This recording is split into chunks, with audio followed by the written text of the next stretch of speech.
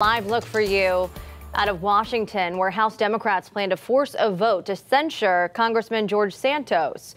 Now, the Republican from New York is facing federal charges of fraud and money laundering. Santos denies the charges. Democrats say they want to hold him accountable. A vote to expel him from Congress failed earlier this year.